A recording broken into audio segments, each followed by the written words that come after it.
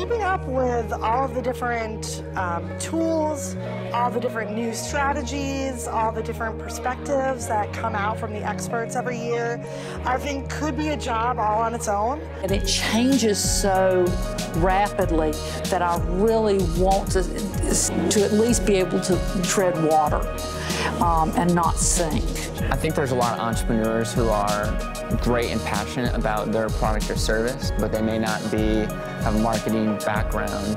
The goal was really to educate people about where the industry is going, what the future looks like, to give them some really applicable tips for moving forward with our content strategies, with search engine optimization, and for my presentation to really give them, again, that sort of overview and larger vision of where digital communications is going and what small businesses and nonprofits need to be thinking about for the future.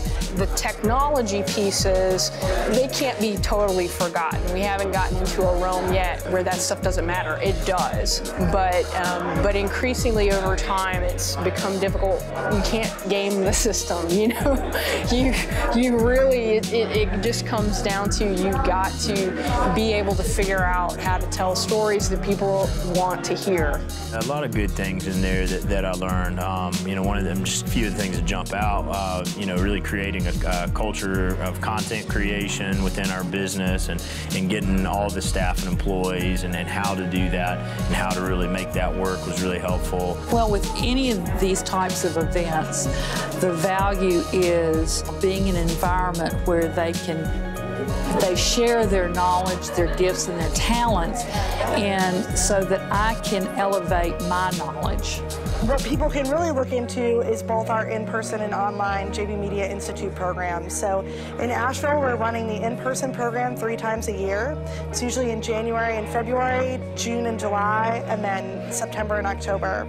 So if you're in Western North Carolina, you can attend our school for six weeks, become certified, and really explore you know, the different tracks that we have. So social media, search engine optimization, online PR, online advertising, and then strategy and management. Um, if you are not in the area, then you can explore our online school. We have a subscription-based program, so if you only need to sign up for the first three months, you get what you need. You can cancel your subscription. If you'd like to continue with our continuous education process, which is to have live calls with Justin and myself every week, to engage in our student community, which is all sorts of marketing and business professionals that are learning as well as sharing their own ideas and their own experiences. Um, you know, you can continue that subscription for as long as you'd like.